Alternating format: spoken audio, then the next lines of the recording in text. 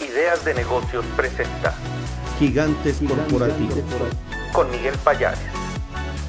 Economía, empresas, negocios. Bienvenido, bienvenido.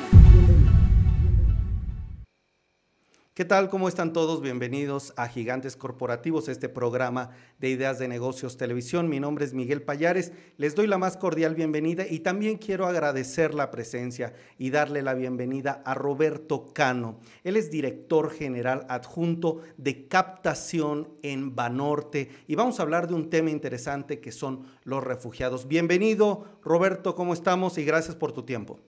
Muchísimas gracias, Miguel. Un gusto y encantado de estar aquí en tu programa y poder conversar.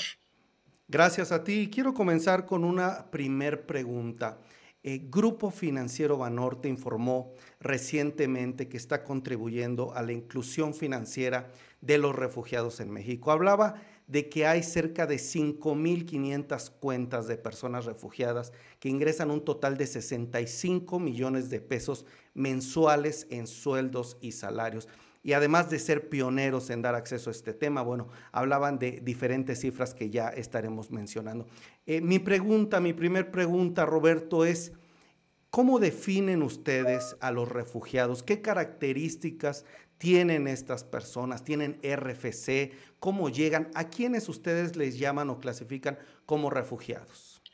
Tu, pregunta es muy importante porque los refugiados son personas que por algún motivo eh, o razón están eh, trasladándose de sus países de origen, por lo general por temas de violencia, persecución política, etcétera, y llegan a México para instalarse en México. Esa es la principal definición de un refugiado. De otra manera, eh, porque generalmente o, comúnmente se confunde con los migrantes, ¿no? El migrante es alguien que está de paso por México y va hacia la frontera norte. En el caso del refugiado, es alguien que se establece en México y que recibe por parte de la Secretaría de Gobernación, del Instituto Nacional de Migración, de la Comar, una, un registro, una CURP, como la que tenemos tú y yo, y me atrevería a decir que incluso más robusta, porque es una eh, clave única de registro poblacional con biométricos. Eh, y además reciben una cédula de permanencia en México, lo cual acredita que están perfectamente identificados como ciudadanos, vamos a decirlo, y que eh, pues son residentes en México, no son mexicanos, pero tienen esa característica de refugiados. Entonces están eh, plenamente identificados y lo más importante, tienen una CURP con fotografía, con biométricos, que les permite acceder a los servicios en el país, entre ellos una cuenta bancaria. Excelente. Antes de pasar a lo que está haciendo Banorte con este grupo, quisiera también aclarar eh, todavía un poco más este tema. ¿Ustedes tienen registrados los países, los cinco o seis principales países eh, de donde vienen estos refugiados actualmente? Mira, eh, son, son muy diversos, pero generalmente son países del área del Caribe y de la parte norte de Latinoamérica. Entonces estamos hablando fundamentalmente de Colombia, Venezuela, Ecuador, Perú y luego del Caribe, República Dominicana, Haití, Cuba principalmente, ¿no? ¿no? ¿no? son los únicos, de repente tenemos de algún país europeo en menor cuantía pero esto es, una cifra eh, bien interesante porque no sé si lo conozcas, pero México se ha convertido en el tercer país que recibe más refugiados en el mundo. Eh, es una cifra que ronda en el 2023 alrededor de 120 mil refugiados, eh, por atrás de los Estados Unidos y de Alemania, y por la ubicación geográfica de México, pues esto hace que que Banorte estemos comprometidos con lo que ya platicaremos de la inclusión financiera.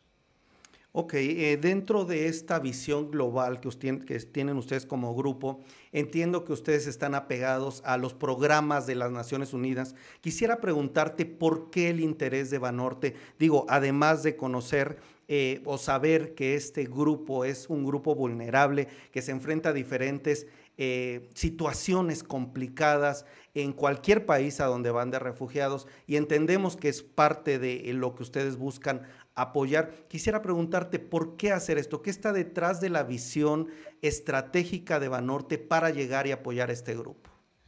Pues en primer lugar, porque la, visión de Banorte, en tanto en los programas de sustentabilidad como de sostenibilidad, y este es uno de sostenibilidad, de inclusión financiera, nos compromete con estos em, factores eh, a nivel global y de compromisos con Naciones Unidas. Precisamente eh, el organismo de Naciones Unidas denominado el Alto Comisionado de Naciones Unidas para la Atención de Refugiados, es eh, el, organismo que tuvo el primer acercamiento con Banorte, eh, evaluando que eran pocos los que, o más bien, no había bancos ofreciendo el servicio o no les daban el servicio para la apertura de cuentas, ¿no? Entonces, en este orden de ideas, eh, Banorte, en su compromiso social de inclusión financiera, sus compromisos con este organismo como es el Alto Comisionado de Naciones Unidas para la atención de refugiados, el aprender, el conocer eh, por qué esto tiene que ser equitativo o inclusivo, pues nos llevó a adentrarnos en el mundo de los refugiados y por lo tanto en evaluar que perfectamente podían ser incluidos en el sistema bancario. Excelente, excelente. Ahora, hablando ya de las cifras y de lo que están haciendo, este eh, es un programa es una acción en particular. ¿De qué se trata esta acción o esta estrategia que nos estás platicando de Banorte? Y por favor también si nos puedes aclarar, estas cuentas mencionan ustedes que eran sueldos y salarios. Es decir, estos refugiados están en un empleo formal, hay algunos que no están. ¿Cuál es la condición también eh, de ellos o, por qué este tema de sueldos y salarios? Sí, mira, esto, se complementa. Déjame eh, hacer un poco de historia. Cuando el alto comisionado de Naciones Unidas eh, para la Atención de Refugiados, por sus siglas en español, ACNUR, eh, se acercan a Banorte con una necesidad específica, ¿no? ¿De qué manera un refugiado puede abrir una cuenta? Entonces nosotros eh, tenemos un producto denominado Enlace Digital, es una cuenta, vamos a llamarla de saldos limitados, esta cuenta son las conocidas como cuentas nivel 2, que tienen un tope de saldo promedio al mes de 23 mil pesos y donde la apertura con a través de CURP perfectamente se puede hacer con el teléfono móvil, con un comprobante de domicilio y básicamente, ¿no? Y un correo electrónico.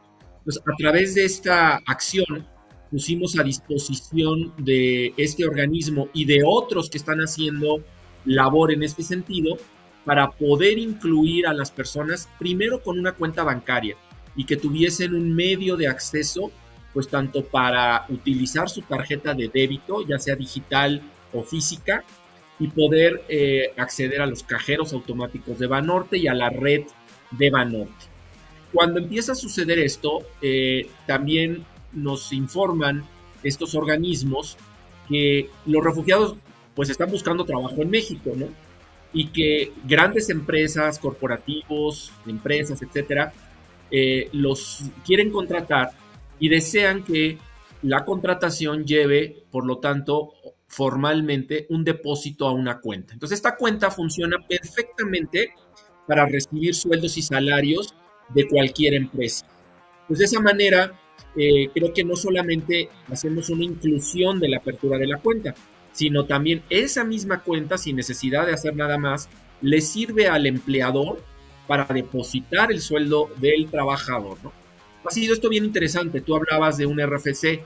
Pues efectivamente los refugiados eh, al entrar formalmente a la planta laboral mexicana también cuentan con un RFC. De hecho, nos ha tocado estar en las pláticas de inducción a quienes atienden a refugiados o incluso directamente con refugiados como el mismo sistema de administración tributaria, el SAT, les da las pláticas para conocer cómo eh, activar o cómo darse de alta en el SAT, así como de nuestra parte el, tema de la inclusión eh, con una cuenta bancaria, que les abre las puertas, pues además déjame complementar mi respuesta, no solamente a recibir sueldos y salarios, sino que se ven beneficiados como cualquier otro cliente de Banorte en los beneficios de la nómina y por lo tanto en empezar a generar un historial crediticio para acceder al crédito, ¿sí? al, crédito de nómina o una tarjeta de crédito. Excelente, excelente, me queda claro. Ahora, eh, nos explicas, creo que me queda muy claro cómo es este proceso, pero también me gustaría preguntarte, ¿esto es digital y también puede ser en una sucursal? ¿Hay algún em, ingreso mínimo, alguna base que hay que mantener en la cuenta para poder utilizarla? ¿Qué requisitos nos, nos van a pedir? ¿Nos podrías eh, reiterar este tema, por favor? Pues mira, los requisitos son muy básicos y, son simplemente eh, esta CURP que se las da eh, el, el, gobierno mexicano, que tiene precisamente todos estos datos de identificación del cliente, un comprobante de domicilio, tener un móvil, que prácticamente hoy todo mundo tiene un móvil eh, inteligente donde perfectamente puedes dar de alta el, el app y básicamente con eso estamos listos para dar de alta la cuenta. Es en digital y como estos refugiados son atendidos de manera masiva en ciertos puntos, eh, más que acudir a una sucursal, nos hemos dado a la tarea de, capacitar al personal que los atiende y por lo tanto eh, guiarlos en autoservicio. Entonces la, cuenta es realmente muy sencilla de abrir, de enlazarla o ligarla a un plástico, que por cierto déjame decirte aquí, tenemos en, en Banorte hoy eh, una tarjeta que denominamos la tarjeta de débito eh, universal, que puede ser incluso adquirida en ciertas corresponsalías y ciertas tiendas de conveniencia, donde eh, la ligas ya, tienes un plástico y con ese vas a poder acceder a tus compras con el débito o a los cajeros automáticos. Entonces, esos son los requisitos. no hay saldo mínimo, o sea, no hay saldo mínimo, ni hay cobro de comisiones, porque es una cuenta que funciona precisamente con estas características. Es digital, si la cuenta además recibe sueldos por nómina, se ve acreedor a otros beneficios como protección de la cuenta en caso de robo o extravío, seguro de vida y en fin, y lo más importante, tener el acceso eh, desde su palma de la mano al mundo de Banorte digital y acceder a otros servicios, ¿no? Desde ahorro muy básico, eh, y, comenzar a hacer, como decía hace un momento, el historial crediticio.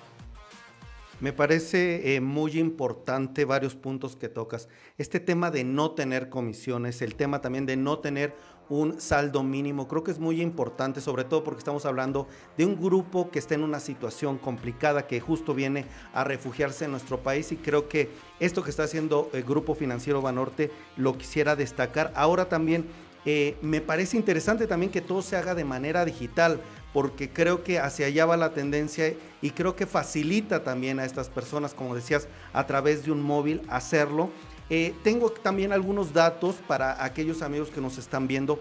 El máximo, el monto máximo que podemos tener en esta cuenta es de 24.390 pesos. Por favor, corrígeme Roberto, pero además quisiera preguntarte, eh, Creo que hay una reacción importante de los refugiados que están acudiendo a Banorte en este tema digital, a este tipo de cuenta enlace digital, para tener su dinero, para incluirse dentro del sistema financiero. Pero te quisiera preguntar, ¿qué viene hacia adelante? ¿Qué cifras, qué esperan para 2024? ¿Tienes planes para los próximos dos o tres años de cuánto podría llegar las cifras de estas cuentas? Pues mira, eh, sí, es bien interesante tu pregunta. Me, hacías hace un momento la referencia de que si esto es un proyecto. Yo creo que de, haber pasado de un proyecto ya se convirtió en algo que es un negocio en marcha eh, desde el punto de vista de poder atender a los refugiados. Con un dato bien interesante, se están acercando cada vez más empresas, corporativos, eh, lugares que están buscando contratar a refugiados. por una simple y sencilla razón, y te doy otro dato duro eh, la economía mexicana presenta un déficit actualmente, esto por cifras que publica el mismo gobierno federal, de cerca de 1.6 millones de, de trabajos que no pueden ser cubiertos prácticamente del centro hacia el norte del país, en donde eh, hay esa necesidad de cubrir puestos laborales y precisamente pues esto cae como anillo al dedo, ¿no? Los refugiados acuden a lugares, a puestos de toda índole en donde pueden ser contratados. ¿Qué sigue? Seguir fortaleciendo esto, haciendo alianzas con empresas. De hecho, en breve, eh, no me adelanto, pero estamos trabajando con algunas empresas en que se pueda dar a conocer esto con mayor facilidad y que conozca el refugiado que a través de esa cuenta pueden recibir sus sueldos. Y uno bien importante que tiene que ver con mejor calidad en cuenta. Eso eh, estamos avanzados porque estamos seguros que muchos de estos refugiados eh, van a tener necesidad de una cuenta sin límites de depósito. Y eso porque muchos de ellos vienen de sus eh, países de origen con una calidad de vida y con unos ingresos a los que estaban acostumbrados que seguramente van a querer aspirar también en México. Ese es, una, ese es un reto que venimos trabajando con eh, autoridades, con la Asociación de Bancos de México, eh, con regulador, de tal manera eh, que, eso pueda avanzar más rápido. Pero hay una realidad en el mundo. Este, el mundo se convirtió en, algo en donde los refugiados son parte ya de esta esfera poblacional y que definitivamente pues tenemos que atenderlos y acogerlos en el país al que vayan. Totalmente, totalmente. Eh, y quisiera pasar al cierre de esta entrevista, solo para recordar y precisar muy bien eh, cómo acceder a esta cuenta. Podemos acceder ya sea a través de banorte.com, también podemos descargar la aplicación. Me gustaría preguntarte eh, cómo, cómo se llama la aplicación, cómo la buscamos en iOS o en, Android. ¿Cómo buscamos, cómo adquirimos esta tarjeta? ¿La buscamos en alguna, en alguna parte del menú, en alguna parte? Y también cuéntame un poco, entiendo que los OXO, en OXO también eh, podemos adquirir esta tarjeta. Correcto, así es. La, la, tarjeta es muy fácil de activar. Si tú entras a la web, puedes entrar a banorte.com eh, slash enlace digital y viene toda la guía para activarla. Lo mismo en el, en el app, al bajar el app y, como eh, nuevo cliente, eh, te da el acceso a, la cuenta enlace digital. En, ambos accesos tú puedes solicitar el poder tener una tarjeta de débito física.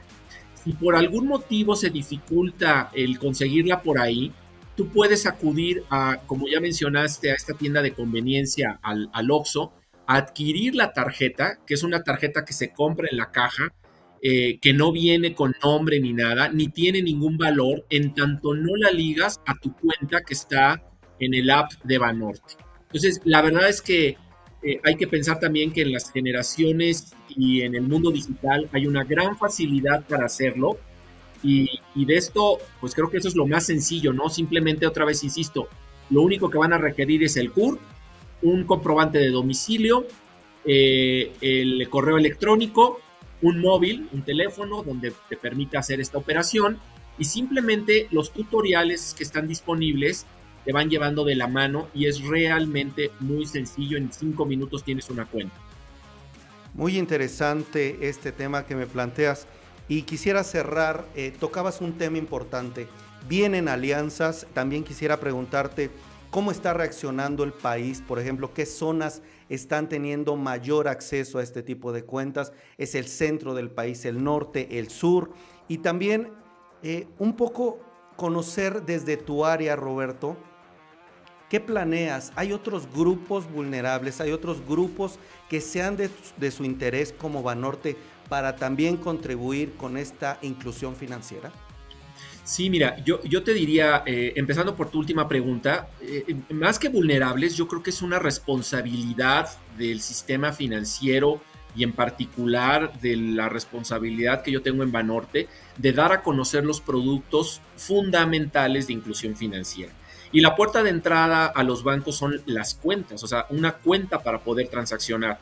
Y esta no está limitada nada más a los refugiados. Este producto enlace digital está abierto a cualquier mexicano que desea una cuenta de manera sencilla, rápida, con un plástico, si quiere un plástico, porque si no lo quisiera, pues lo puede tener digital en su, en su teléfono, acceder a una serie de servicios. Entonces esa parte está eh, cubierta.